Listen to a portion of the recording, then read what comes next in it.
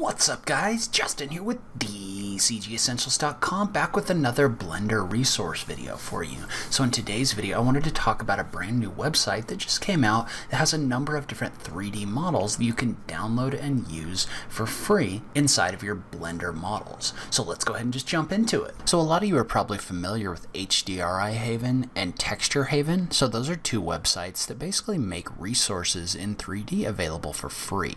So HDRI Haven which you can find at hdrihaven.com, is 100% free and it contains a library of HDRI backgrounds that you can use for lighting your renderings as well as for creating backgrounds inside of your renders. So they're 100% patron supported, meaning they're supported by donations, but everything that's in here is available for free. So if you were to go to the HDRI section, you can see how there's like 377 HDRI images you can download and you can use. We've talked about these in the past, but again, they're 100% free. They're CC0, meaning you can use them for whatever you want. All they ask is if you like what they're doing, maybe support them on Patreon. So in addition, they also have a website called Texture Haven, which has the same basic principle, um, but they have textures that you can download. So these are all PBR textures that you can download and you can use inside of your models. So again, 100% free, same model, they're CC0, and these contain all of the maps that you need in order to make your materials look realistic. Well, this same group has just rolled out a new website called 3D Model Haven.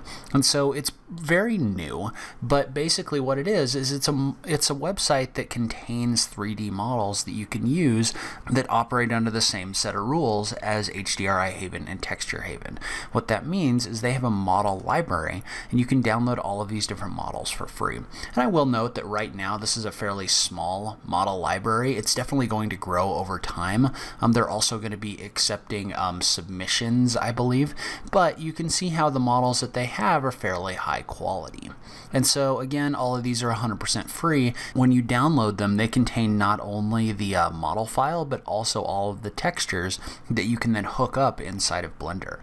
And so if you do this and you take a look at these, these are actually really great looking models. So once you kind of set up all of the different materials, which is really easy to to do and then render this, you can see how you get really great results from your renderings. And one thing I will note is just like a lot of Patreon um, supported pages, they do have different goals right now. So at the moment, the models that they bring in are fairly low poly. So if we look at this uh, this chair, for example, and let's just go to solid mode and let's turn on our wireframe, you can see how this is very low poly right now, so there's not a ton of detail in here. You can see that a little bit when it renders out um, along these edges. This looks a little bit choppy. So one of the things they're going to do is as their support level grows, they're going to be making the higher poly meshes available along with other things. So if you go onto their Patreon page and you can see how these are the options to sponsor their website, but if you scroll down, and you look at their goals, once they reach a certain level, they're going to make the high poly models available and then the substance files available once they hit a certain point. So as they grow, more things are going to be made available. Um, to the community. So again, we all kind of benefit when people support this website. But again, when you bring these into Blender, even right now, they look really good.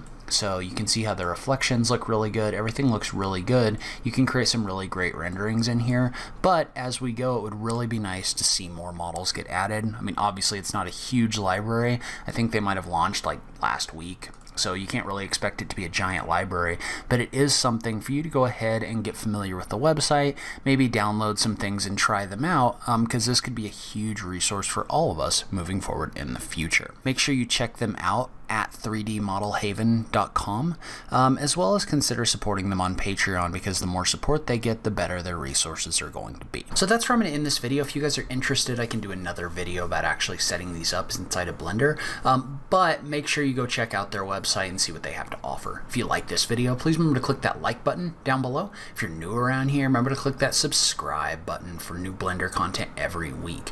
As always, thank you so much for taking the time to watch this. I really appreciate it, and I will catch you in the next video. Thanks, guys.